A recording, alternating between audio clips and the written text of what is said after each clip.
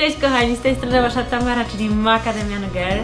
Dziś vlog o totalnej podstawie podstaw, moje drogie, bo chociaż e, poranna i wieczorna rutyna jest nam wszystkim dobrze zdana, u każdej to wygląda trochę inaczej, to jednak e, są takie najgorsze nawyki urodowe, których nikt nie powinien powielać.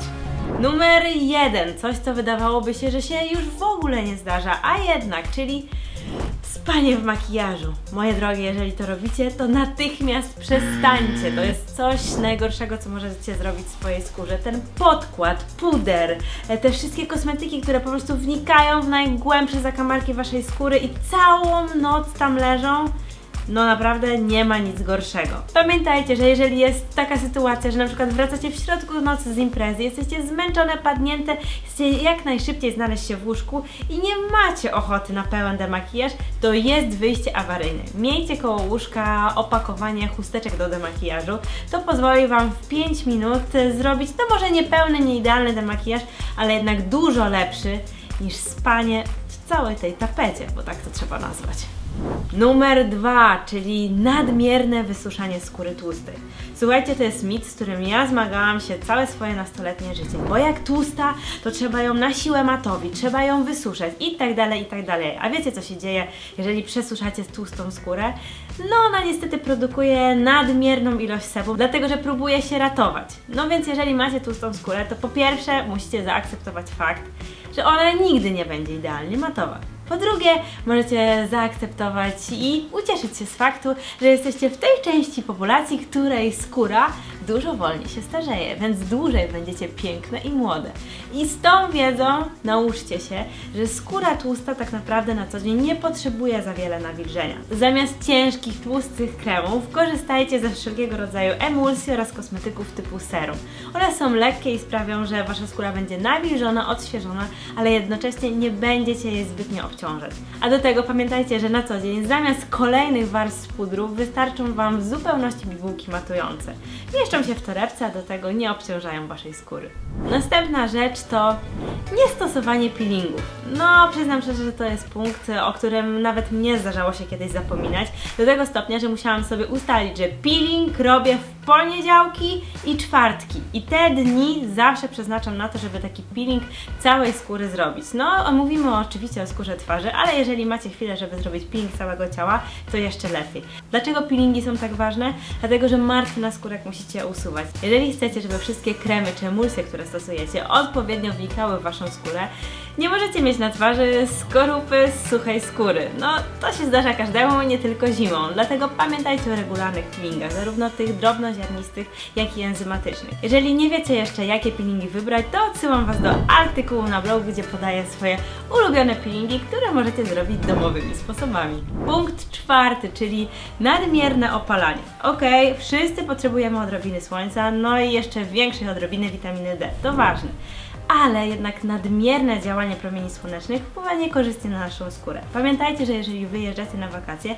stosujcie filtry. Do tego wszystkiego, jeżeli możecie nadać swojej skórze odrobinę brązowego koloru po prostu zwykłym samoopalaczem, to gwarantuję, że to idealne rozwiązanie. Ja sama lubię czasem się trochę zbrązowić i nie mówię tu tylko o używaniu bronzera. Zresztą we vlogu mojej aktualnej rutynie tutaj polecam Wam mój ulubiony balsam brązujący. Sprawdźcie go koniecznie. Kolejna kwestia to nadmierne depilowanie brwi, czyli dziewczyny, jeżeli nie chcecie być wiecznie zdziwione, albo tylko trochę zdziwione, albo bardzo cały czas złe, to pamiętajcie, że często natura wie najlepiej i kształt brwi tak naprawdę wystarczy tylko trochę podrasować, usunąć zbędne włoski, a resztę zostawić tak jak matka natura przykazała. To ważne, bo brwi jednak e, nadają piękną oprawę twarzy, jeżeli są źle zrobione, no to cała reszta naprawdę niewiele pomoże.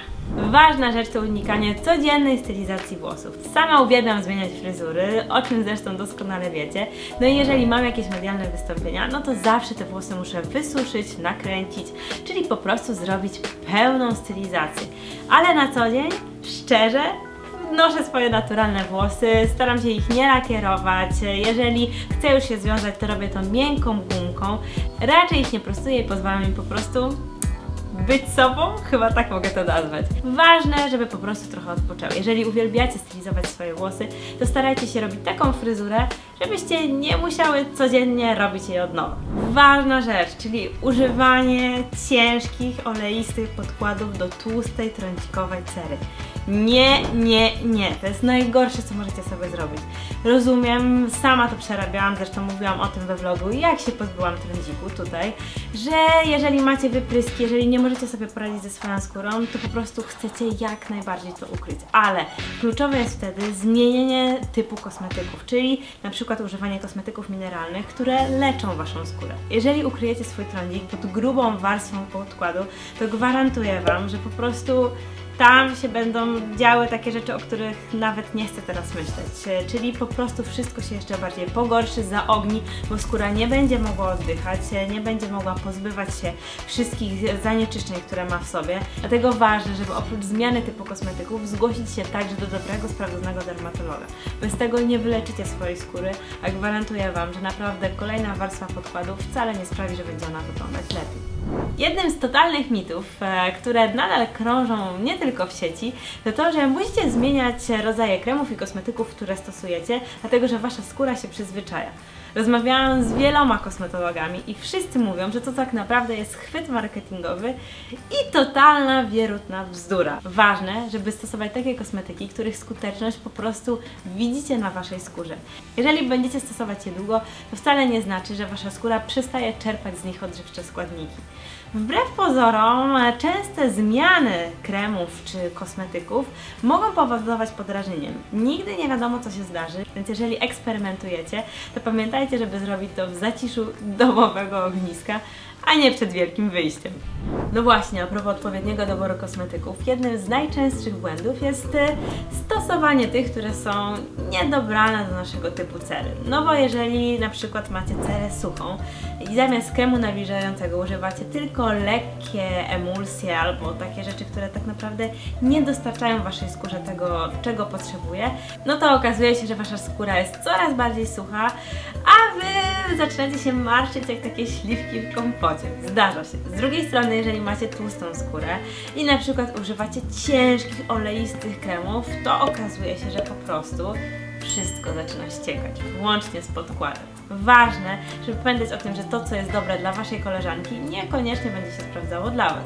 Jeżeli na przykład macie cerę mieszaną, no to w pewnym miejscu potrzebujecie kremu nawilżającego, a w innym właśnie zupełnie delikatnej, lekkiej emulsji. To wszystko trzeba po prostu sprawdzić i zdiagnozować, e, oglądając naszą skórę i wsłuchując się w jej potrzeby. Na koniec e, Każda z Was pewnie pamięta o tym, żeby używać na przykład kremu albo emulsji nawilżającej. Ale czy pamiętacie, żeby codziennie rano i wieczorem używać także kremu pod oczy? No właśnie, albo balsamu do ust po to, żeby były miękkie, jędrne i powabne, tak myślałam. Jeżeli zapominacie o pielęgnacji specjalnej, to popełniacie jeden z największych błędów. Po prostu trzeba pamiętać o tym, że nasza skóra inne ma potrzeby, na przykład na policzkach, inne na ustach, a inne zupełnie pod oczami.